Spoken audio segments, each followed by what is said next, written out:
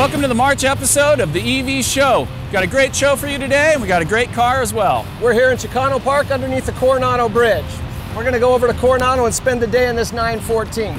Let's take a look at the car that's going to take us there.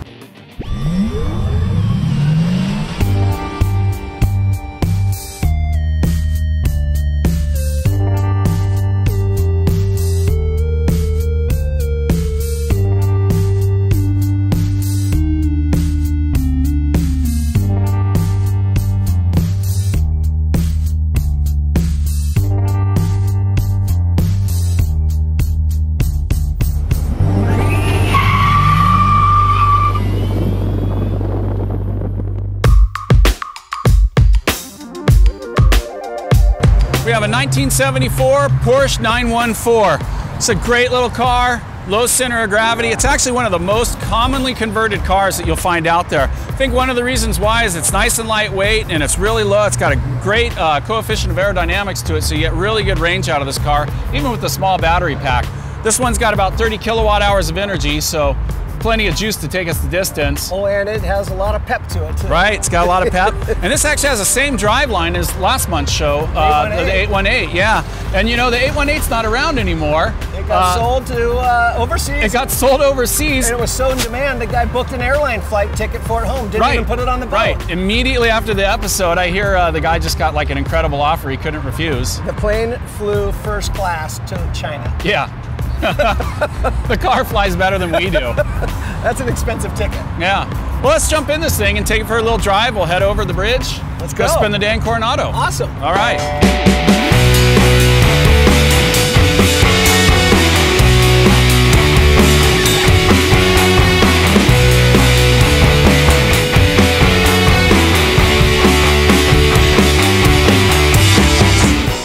Well, you excited? We got a little afternoon in Coronado.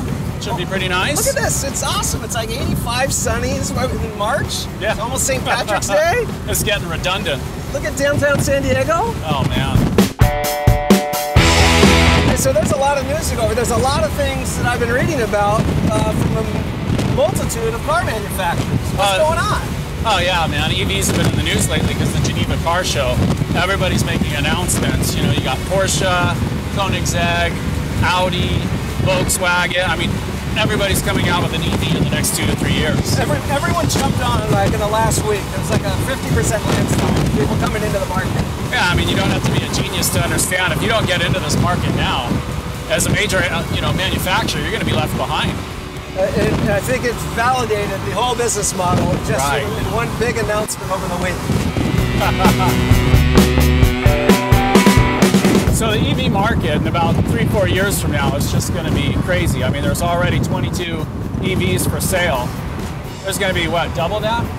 Yeah, but 40 something cars already announced. Right. So what right. about this car that goes zero to 200 Yeah. in 20 seconds? Yeah, the Koenigsegg Regera, the first mega car.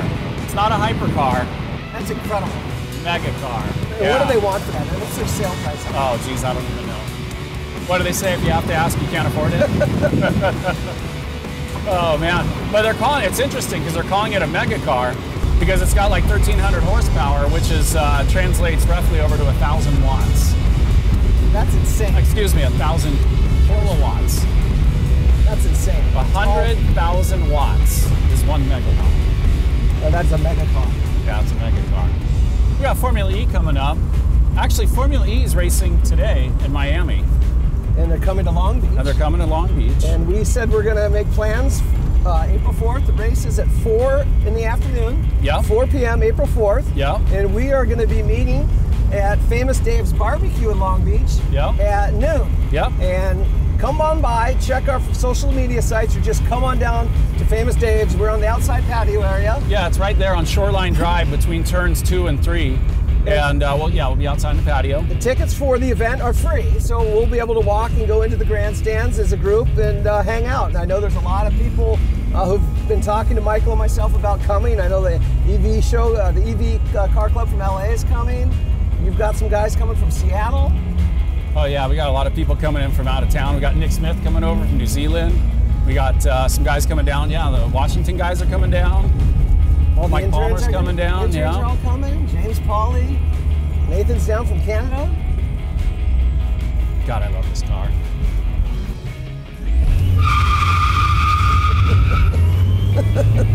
right? Oh, that smells like serious rubber. that, that'd be like a quiet residential knock on the door. Oh. Hi, we're here. Hello? Yes, that's us. That's us. oh man. Love it. You know, most people have, you know, an image and corporate cards and letterhead and stuff. We just have this puff of smoke with a screeching noise. 3D that you can feel Oh, and smell. God. So Formula E is going to be great. We're going to have a good time in Long Beach and uh, get the gang together. You know, speaking of the gang, John is making some good progress on the Ural motorcycle uh, project, little sidecar. I see he's been doing a tremendous amount of research as to the history and the current capabilities in other countries of the Ural. Yeah, he's- rockets, whatever. Let's have uh, John. Why don't you go ahead and explain?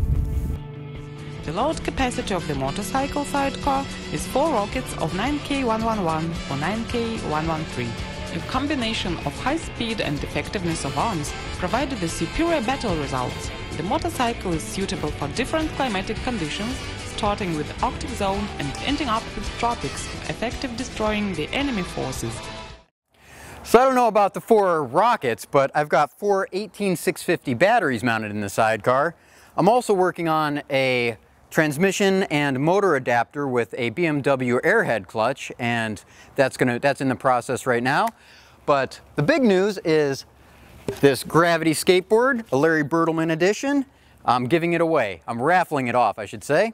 And go to roselli.biz for the details. It'll have all the information you need to know there. So until next time, see you then.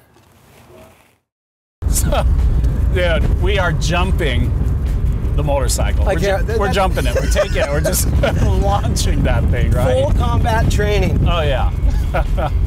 I can't when we get that out of the shop, we're gonna go do donuts in it. Right, right. That thing was like five feet off the ground. Oh my god. And that's like a recent Russian video. yeah. Unbelievable, high tech. So the uh, the Ghia finally left the shop. The Ghia left the shop. We didn't want it to leave. We liked it so much. In fact, we had the guys from AOL, uh, the Translogic guys, comes down, do a little filming in it. They loved that car. Yeah, they loved it. It's- Everybody loves it. It- it's just You know, we, we returned it to the owner, right? Uh, reluctantly. Within 30 minutes of driving it, somebody left a note on his windshield. Some cute girl wanted to ride. Yeah, you uh, you almost had a, a sentimental moment when that car left the shop. So you went and recorded one last uh, uh, round with the car. You had a date with the car. I had a date with the car. Should we go take a look? Let's see how much romance was there. Let's see the bromance.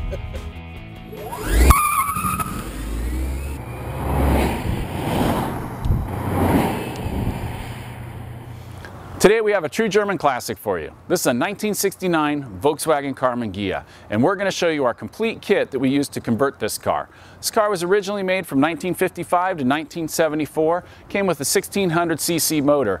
Our kit almost doubles the horsepower and the torque of that motor. We have a 62 kilowatt motor. We've got it hooked up to a 22 kilowatt hour battery pack that's good for about yeah, 80 miles. If you drive nice and fast like you should, maybe 60. And we got a 2.5 kilowatt charger, level two, that's good to recharge it in about eight hours. We're gonna take a quick drive in the car. We're gonna take a quick look at the kit and see how it integrates into this classic.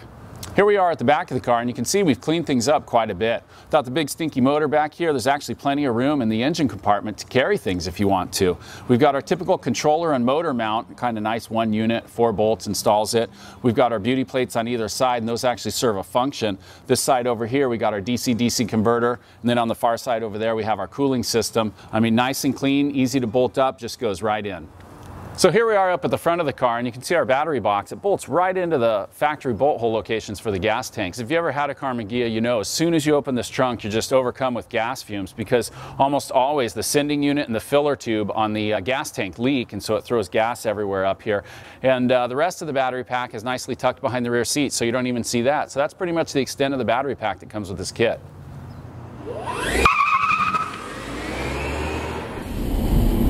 What a great driving car this is. Nice and smooth. Karmann Ghia is nice and low to the ground. It's kind of like a little sports car. Its biggest problem is it just never really had power before. Now with the electric conversion, you pretty much have it all. You got the good looks, the great handling, and now you actually have power. what a concept. So this car has a great feature called variable brake regen. It's the sort of thing that you find in like a Chevy Volt. Basically, when you apply the brakes, there's a transducer that tells the motor to turn into a generator, slow the car down, and put some of that energy back in the battery pack. It's much better than heating up the friction brakes, and it certainly makes them last a lot longer. It's a great feature. The neat thing about this is, is you can shift through the gears and kind of stay connected to the car. But at the same time, if you're in traffic, you can drive it like a golf cart. Just leave it in third gear, come to a complete stop. Need to start stop on a hill, not a problem. No clutch needed, just give it the accelerator pedal. So we can really kind of drive this thing without shifting. I think this car here will do about 90 miles an hour in third gear, so it's really not much of a need to ever shift unless you really want to kind of drive the car in a spirited fashion. For this particular kit, we only needed to add two gauges to the dash. We have our state of charge gauge over here, which tells us how much battery we have left. And then over here on the other side, we have the motor gauge, which tells us the RPM and the temperature of the motor, other crucial things like that. The nice thing about it is, is the Karmann Ghia already provides for these cutouts on the dash, so we didn't have to do any cutting of any metal. I mean, really uh, retaining the classic nature of this dash over here, not altering it at all. Well, that about sums up our test drive of the 1969 Karmann Ghia. We got a great kit for it, complete, includes everything you need. If you got an old classic, put some new life into it. With EV West, I'm Michael Bream. We'll see you next time. An old classic. Hey, if I don't answer your call today, you know why. Oh, a nice uh, uh, video work with the gear. Zoom, zoom, zoom, zoom, zoom. Are you jealous of the flybys? Zoom, zoom. that was awesome. I, I would have hit the camera that was laying in the street. Right. So, so uh, battery balancing. I saw you over there with that mad scientist uh, on the desk in the afternoon whipping uh, that device together. I used a soldering iron. Well, and a piece of pipe and a bunch of wires and some sparks. Right. Using that engineering degree to its fullest extent. So the idea is that you bring the balance of all the batteries to the bottom, kind of like emptying a beer, right? A soda, right? Right down to the ends. Make sure right. they're all level. Yep. And then you recharge them equally, yep. so you don't have any batteries. Make sure off. they're all 12 ounce cans. Nobody gets more or less. Yeah, so you got to share. Yeah, got to share. It's a, it's a share economy. Yeah. So we can go into some technical terms. In fact, uh, why don't we watch me build the balancer, and then I toss it over to Jehu, and he shows us how to use it. Excellent. All right, let's check out some battery balancing. Today we're going to talk about balancing batteries and what I'm going to do is I'm going to show you a quick assembly of our easy yet super affordable battery balancer. It's very effective and it sets an alarm when you hit your desired voltage. You can go through your whole pack pretty easy. I'm going to show you how to assemble it real quick and then we're going to turn it over to Jehu Garcia and he's going to show you how to use this. So when you get our kit it includes a few things. I'm going to run through them here. Your battery cable with your uh, thick leads, uh, your voltage sensing leads, a 10th ohm 300 watt resistor. It's going to draw down the battery, a couple of gland nuts, uh, a power supply, a uh, beeper, and a little voltage uh, display. It tells you your voltage and then a tiny little case to put it in, um, and a little piece of pipe. And this just kind of keeps it uh, insulated from burning things and shorting out. So we're just gonna go through the steps. It's super simple, super easy. We're gonna take our resistor, we're gonna hold it up to our pipe here, and we're gonna measure two spots. We're gonna kind of center it. We're just gonna measure two spots and drill some holes. Now that our holes are drilled, we're just gonna go ahead. We're gonna insert our gland nuts in there. Just gonna sense them down. Super quick, super easy. We're gonna take this wire right here and on the end, we're gonna crimp on two little ring terminals. And those ring terminals are gonna allow us to uh, mount right. Oh wow, I'm throwing Now that our gland nuts are in the insulator, we're just gonna crimp on a ring terminal to our battery cable here. All right, so we got our little ring terminals on there. And if you can see those little ring terminals. And we're just gonna go ahead and feed them through our gland nuts here and uh, poke them inside. Super simple, super easy. Right on through like that. Then what we're gonna do is we're just gonna slide this inside and you kind of got to get some needle nose pliers to get in there, but we're going to attach this to our ring terminals and then pull it tight, pull these tight, and we're going to cinch this down, secure it inside of here. One quick little trick here is to pull enough uh, this slack through that you have enough room up here pull the resistor out. It makes it a lot easier to go ahead and mount it on there. Gives you plenty of room. Makes it a little easier to tighten the little nut and bolt on there. All right, now that both ends are secured to the resistor, we're just gonna pull the slack out of this and really cinch this down to the point where the ends of the ring terminals actually go back into the gland nut. And once they do that, you can really tighten down this gland nut get that thing nice and secure and what you'll end up with is a resistor in the middle of the tube like this and it just kind of keeps uh, the hottest part of the battery balancer you know away from uh, melting things and uh, burning anybody so nice and secure in there. Now we're going to take the clamp end of our battery cable here and what we're going to do is we're going to take our voltage sense leads. Now you get a lot of voltage sag when this is hooked up to a load so to avoid that what we're going to do if you look here the load part of this attaches to this side of the clamp so we're actually going to feed our cable. We're going to go up and over and attach to the far side of the clamp here. So that way we're drawing from uh, the side of the clamp that doesn't have a load on it and we'll get a much more accurate voltage reading that way. A quick tip here on soldering and cable routing. We're going to take our voltage sense lead and slip it through the clamp, uh, the little insulator for the clamp here. We're going to take it over to the other side. We're going to pull this one off. We're going to pre-tin our uh, cable here and we're going to pre-tin the clamp and that'll make it nice and easy uh, for us to solder. We're just going to go in there like that, pull this tight, slip the other end over it. Okay, now that I got my voltage sense lead soldered in there, I'm to tuck it up in the spring there so it's a little bit hidden, pull the slack out of it and uh, put my insulators back on. That way it's nice and clean and our sense lead comes out like that. Now that we have our two sense leads, I'm going to run these down to about right here and uh, to clean it up I'm going to go ahead and twist these wires together just to give it a little bit of a cleaner look. I'm going to pinch my fingers about 10 inches down there. I'm going to go ahead and spin that. Now we have our sense leads nice and clean and then uh, they come off here like this. We're going to solder them into the power supply. This is a small step-up power supply, and it takes our 2.7 to 3 volts and brings it up to uh, about 10 volts. And we're basically tricking the system into thinking that it's uh, at a higher voltage than it really is. And the reason for this is our little uh, warning system here uh, it won't run at two and a half volts. Almost no electronics will, so we need to bring it up. So we're kind of doing a tricky little thing here. We're spoofing it. And um, basically we're going to take this input to the input side of our power supply. And the power supply is going to take that 2.7 volts and bring it up to about 10 volts. And we're going to use some remote control car parts to uh, basically monitor that voltage and tell us when we're low. So the monitoring side of it is going to see about 10 volts, but the input side is going to see about 2.7, which is where we want to balance our battery at. All right, now that I got my voltage sense lead soldered onto my power supply input, on the output, I'm gonna put our beeper. What that's gonna do, it's gonna step up the voltage so our beeper sees around 10 volts. When this falls below 10 volts, it's gonna send an alarm signal that's gonna tell us that we're ready to switch the battery. All right, now that I have my power supply soldered up with my input and my output here, I'm gonna solder our little voltage display to the input so I can always read my input voltage. I hooked it up to a power supply and turned that power supply down to about 2.7 volts. What I'm going to do now is calibrate it. If you don't have a power supply, just run one of your batteries down to your desired balance voltage, 2.7, 2.8 volts, and then go ahead and calibrate it with that first battery. Once you get it calibrated, you can repeat it with all the batteries in your battery set and you'll have the same voltage across the board. So what I'm gonna do is I'm just gonna slowly turn the calibration pot down until I get the beeper to give me a warning beep. This is a multi-turn pot, so you're gonna end up turning the screw 10, 20 times before you get it to the right point. What I'm doing is I'm turning it clockwise. When you get close, be sure and turn the adjustment screw nice and slow. So there we go, we're at 2.7 volts and our alarm is sounded. I can go ahead and turn my voltage up on the power supply, just a touch here, and you can see we're back to a normal condition. So what this is going to do is as your battery drains down, it's going to hit the same point every time and trigger the alarm. Now it doesn't really matter if it's 2.77 or 2.68 as long as it's consistent every time. So after you calibrate your power supply for the first time, don't touch it again. Now that we're calibrated to clean things up, we're gonna go ahead and zip tie these wires together. We're gonna put it in this case so it doesn't short out on anything. Drill a small little hole in here so the cables can go in and out. And there we have our balancer. If I'm moving a little too fast for you, that's okay. We've got instructions online on the product page. All right, so there's the assembly of our quick and easy battery balancer. I'm done here, so I'm gonna turn it over to Jehu and he's gonna show you how to use it. Jehu. All right. Welcome to another quick tip this month on the EV show. Uh, I guess today we're gonna be bottom balancing batteries. So let's get started.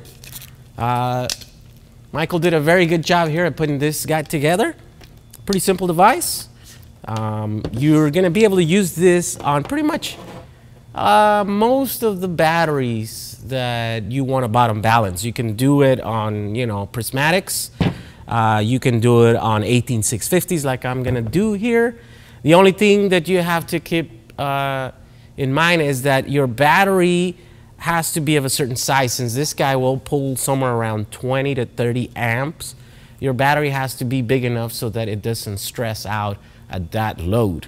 Uh, for example, you won't be able to do a single 18650 uh, and then bottom balance that battery. I mean, you can do it, but this guy is really not going to like it. It's going to get too hot. It's going to become a fire hazard. You're actually going to ruin the battery. And so it has to be somewhere around probably, uh, well, like if, if the battery doesn't like anything more than 1C, so it's this is 20 to 30 amps. So your battery has to be somewhere around one and a, one and a half times bigger than that. So you're looking at about 50 amp hour cell uh, as your minimum uh, to be able to uh, bottom balance it with this. So let's get started. It's actually pretty simple.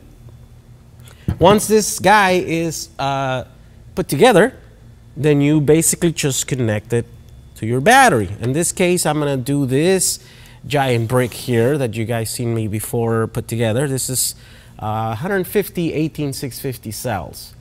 Uh, and so it should be around 300 amp hours. And so we're going to use this as our test battery to put it to bottom balance it. So the negative goes to the negative. You got to make sure you, you, you create good contact because there's going to be quite a bit of load going on here and it could get hot. All right, so we heard a little beep and um, this guy here is basically telling us that the battery is at 3.9897 volts.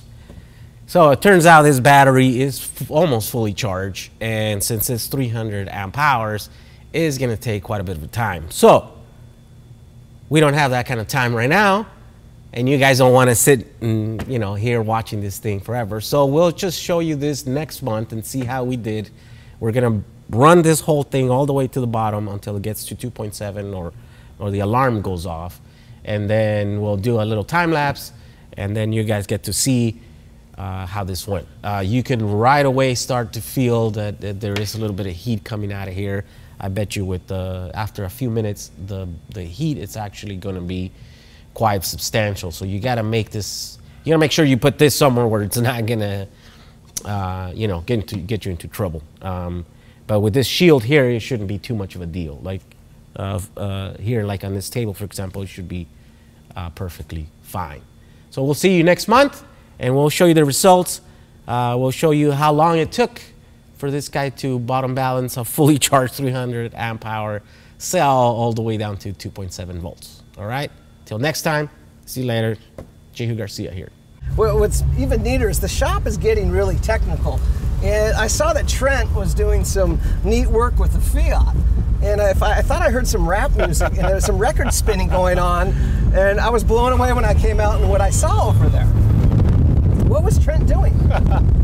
I think he was uh, getting creative. Was right? he working out or something? Yeah. Time to kick it old let's school. Go, let's, let's go see what Nick's Master Trent's up to. Let's see it. Take it away, Trent. Well, folks, it's time to kick it old school. All right, guys ever seen that move a Fiat Jolly around the shop? The easy way. Give it to me, baby. baby.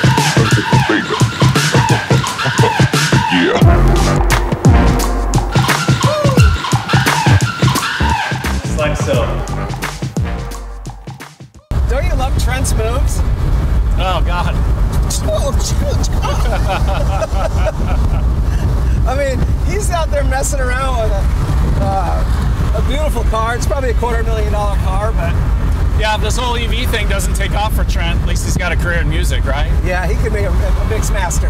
What is it? Don't you Mix- love those little tires squeaking on the floor? Oh yeah, mix. What is it? Mixmaster Trent and the Jolly Scratch crew. Mix Master Trent and the Jolly Scratchers. Oh, where are we going next? You got a, well, a Fiat to a Fiat. a Fiat to a Fiat. That's Now- fitting, right? I'll Yeah, take it away. Yeah, let's let's yeah. You want to talk about it? You want to lead him in? I think it speaks for itself. What are we going to see? Chunk monkey? Fiat. Fiat. It's haunted. the haunted Fiat. Let's see the progress on the Fiat. We busted out the uh, total strip down of the Fiat in one day. It's ready for its electrification.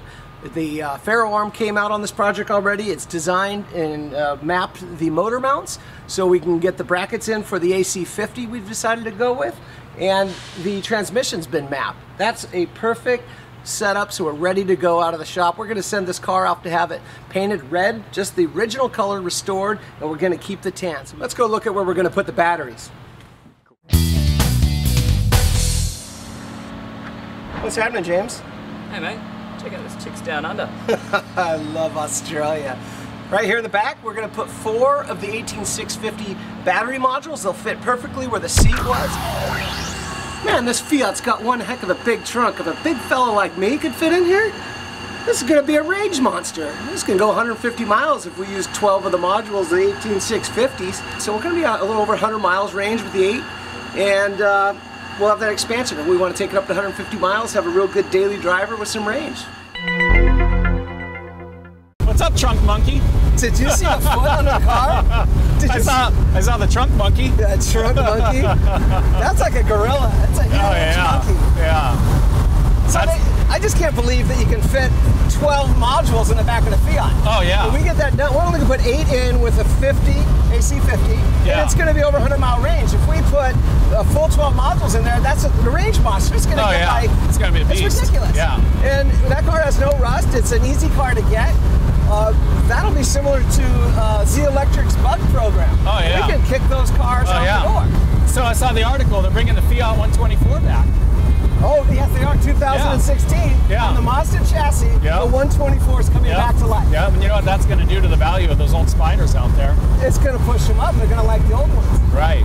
But the thing, they, they aren't bringing it out in electric, which I thought they might have announced that if they were smart in Geneva. Uh, you know, by the time they're ready to bring the thing out, they're going to realize they should have made it electric. Hey, bro, thanks for driving today. I really appreciate your professional driving. I love driving with the world's uh, certified fastest street electric car driver. Oh, I thank you. You and your magazines. What do you got today? I'm relaxing. You make me feel charge? comfortable. Well, I always got some good stuff. You know, I'm always reading something to learn more about Oh. the EV industry. Right. I'm not. I'm not more than it looks like I really am. Well, you got Look, some. You got some catching Here, up to do. This is legitimate articles in Penthouse. It's the People's Electric Vehicle talking about Zelectric bugs, uh, bringing back restoration and conversion to electric cars. And Incredible. the David's doing a great job. David and Bonnie are awesome. And this is even better. You're, don't let this get to your head, but let me read you a little quote out of this right here. It says, This well engineered and thoughtful, thoughtfully packaged surprise, which was developed with wheel smoke, just kidding, with industry legends at EV West, Michael Bream and Matt Hoover. industry legend? I never thought I would be called a legend. No, I'm- in I'm- Penthouse magazine. I'm driving around the legend now. Dude, you're legendary. Oh, I was gonna take that quote, put it on the website. Legend. You gotta change your business title to The Ledge. The ledge. The Ledge. the Ledge. Oh God. Uh, March issue right there. Read about EV West and Zelectric Motors. No comment. Okay, this is this, this is the test to see if the intern's intern can understand schematics. Ah, I see you're brushing up. You found our new uh, schematic download section on the website. Uh huh. Yeah. This is the junior schematic of a DC motor installation. It says EV West. Yeah, this is great. We have a self-service now. You go to our website, go to the resources tab. We got some downloadable schematics for some people. You know, we get get a lot of common questions like, how do you hook this up? You know, what do the batteries hook up to? So we got a neat little schematic. You can download it. Shows you where the fuse is, the safety cutoff switch, etc., cetera, et cetera. I mean, even I can read a schematic. Well, you're gonna have to. You know, like we got that one for the Ferrari up on the wall, five feet by three feet. I can't believe it's really not much of a schematic. It's this death list of how many wires we are keeping. It's like the large print edition for you, right? I, I got to get it big because I can't see anymore. Yeah, right. Color coded. That's nice. Good Yeah. job. Yeah. Are you Ah, gonna check put- it out. Are you gonna put a picture of me up in there too?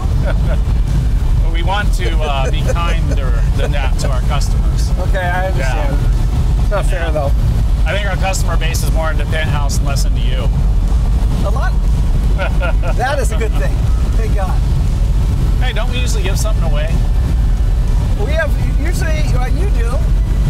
You don't have anything? You have a random act of kindness. Yeah. I have a random act of coolness. Well, you gave me such a hard time last month Wait a second. for being such a dweeb, giving away a starter plate.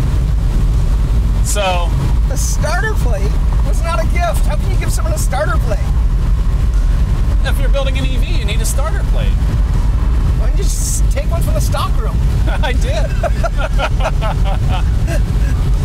so I got something. I saw Carl Reiner on the uh, Tonight Show the other night, and he gave uh, Jimmy Fallon a space pen. So we're going to give a reader a space pen. It writes upside down. It's a space pen. It writes underwater, and it writes over grease. Okay, now that's worth something. Well, that's basically all three situations you find yourself in daily. So that's what I'm giving away. So you out nerded nerdiness. Yep. I did. I topped you, and I know you don't. You don't even have anything today, do you? Well, I had, I had. I had beads, and the cop wouldn't take them. God, yeah. But they did go somewhere. They Yeah. found a home. World's worst suggestion. hey, cop. Instead of a ticket, will you take some beads? hey, it wasn't a bribe. I'm not sure what that was. I was just trying to share the spirit. oh man. He wanted nothing to do with that, by the way. So send us an email at uh, what is it? Team at Team at- evshow.com. Team at EV Show. Yep. And um, tell us why you need to write upside down in the water over grease. Tell me what you want to give away as the random act of coolness next time. Yeah. Since my beads almost got stolen. Oh boy. So I think we got a charging station somewhere down here. yeah, you know, City Hall has a charging station in Coronado. Where is uh, City Hall? City Hall, two blank ports. It says check in. It says both ports are available. Oh, they're going to be right up here somewhere. I'm guessing right next to the handicap spaces because they love to put people with electric cars right in the front row. One of the advantages of driving electric, front row parking. Is that it right there? That's it right there. Yep, right there. There they are. Bam. That's pretty good, isn't it? Yeah, that's not bad. Glorietta Bay Marina parking lot. Now, don't we have someone working with EV West who's making an electric boat? Oh, we got a couple guys doing some boats. I think Oh, we should do an episode on a boat. Yeah, we should have an electric Yeah. boat ride. Yeah. An electric cruise. Yeah. And I can show some. I love bottom balancing on an electric cruise. Oh, look at this one's for wheelchair handicapped people. They got the low one and the big one. All right. Look yeah, at that. that's charge station. No parking except for electric vehicle charging. Shall we?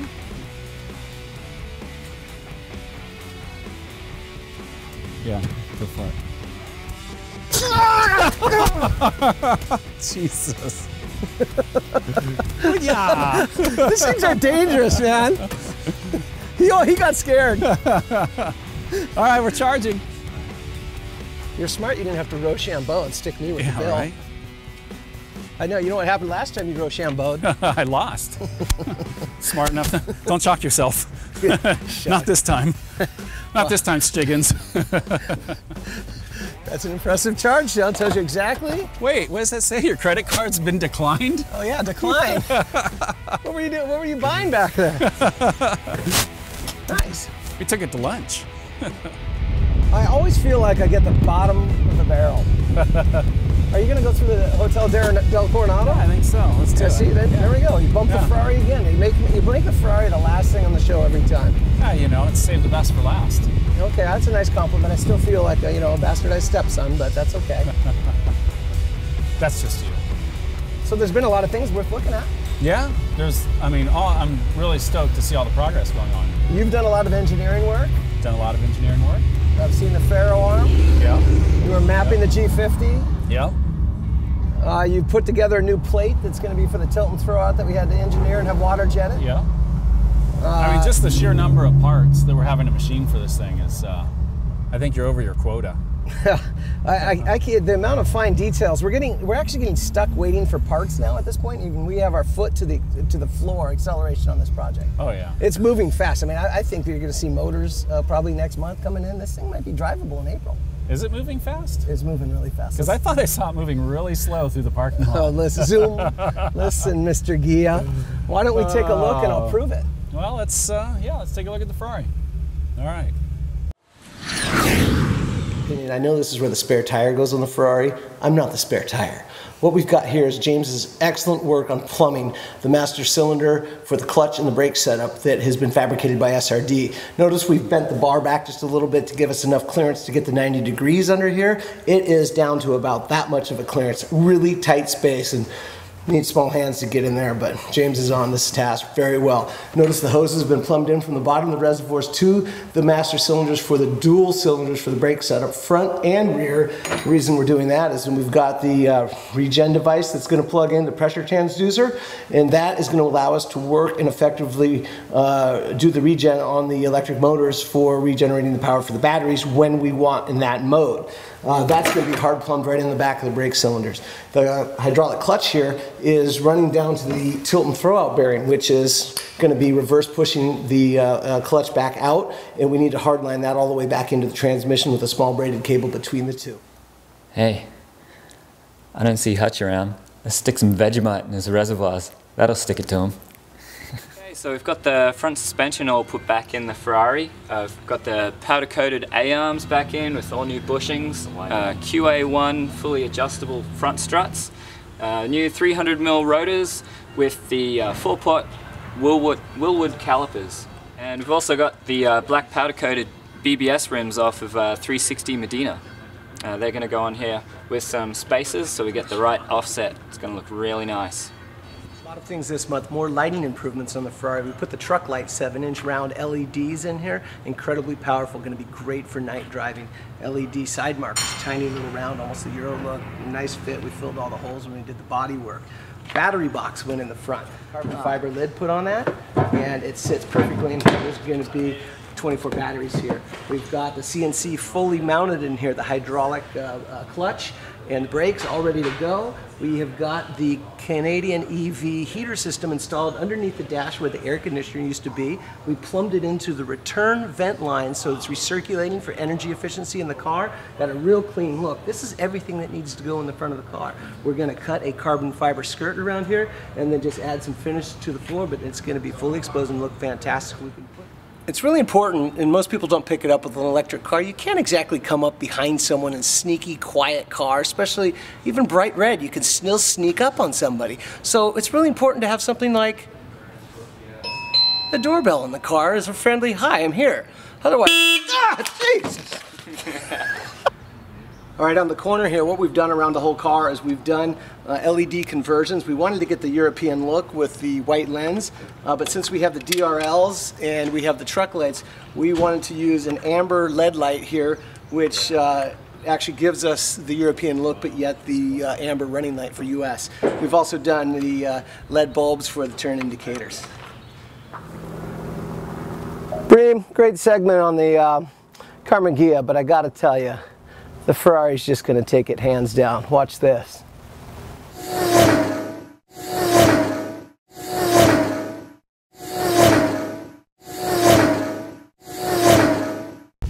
Well, I think that about wraps it up for us in Coronado today, right? Yeah, this is beautiful. I love it down here. I'm going to hang out uh, in Coronado for the rest of the day if you drop me off. I'm going to drop you off. I'm going to head back to the house. I'm going to go watch the uh, Formula E Miami. I'll record it because I want to watch it later. I'll record it. Yeah, I know you have something else to say. Yeah, right? Nothing else? Is that Oh, no, no. Seriously? I'm going to be a dad next week. So I'm going to go home, to watch Formula E. I'm going to get ready to have a baby, You're having a baby Monday morning at 10:16 a.m. something like that. No, and then, uh, and then we're jumping into uh, the April show. uh, yeah. Well, so hopefully in April we'll have a show. Yeah, hopefully. So hopefully in March having a show. Yeah, Are you concerned about leaving us in the shop all week while you're out? uh, I'm not concerned one bit. I heard there was some vandalism to your truck last week. Yeah, right. There's some mir- Pink penis. This guy spray painted a pink penis It's- on the shop truck. That's true. We have a picture of that. The great thing was, is we then stole his keys and wouldn't give them back until he took the pink penis off the shop truck. No, I rubbed it off the door. Oh, he rubbed the penis. So the it gets better. He hotwired my car reverse lights to the horn. Oh, yeah, we so when up- I hooked my car up in reverse, The horn honked. no one was behind my car. It's great. I keep using it. But we did get caught in the act. But we got something else planned for you. All right, once again, bringing another show to a close. Uh, appreciate our viewers hanging out with us. Yeah, thank you for joining us for the March show and all your feedback and comments. We love the uh, Yeah. uh, commentary you guys give us. Look forward to the next show and see you then. Yeah, see you next time. Information's there. Uh, I just gotta fill out information here, but I'll give you a court date of uh, May 14th of 2015. On or before the you'll get information from the court. All right, you can't give me a warning just this one time. Sorry, uh, it's, it's I, not a problem. I just gotta ask, man. I, I mean, you got appreciate the car, right? do, you know it's electric, and we we thought, totally honestly, dude, I thought that that was like legal because the white lane. I thought you were pulling me over because the car has carpool lane stickers, No, and it's it's- confused uh, cops before. It's a double yellow line no matter what. Yeah. Okay. You can be in the HOV lane, I don't mind that. It's the fact it's a double yellow line. Yeah. Yeah. Not a problem. I totally understand. Are you sure you don't want to just let it slide just this one time? We can give you some beads though.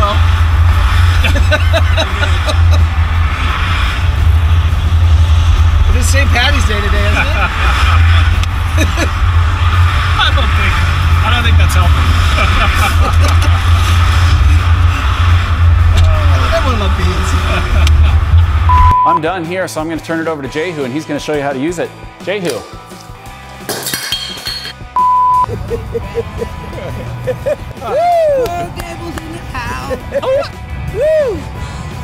He gave her those beads. She loves the beads.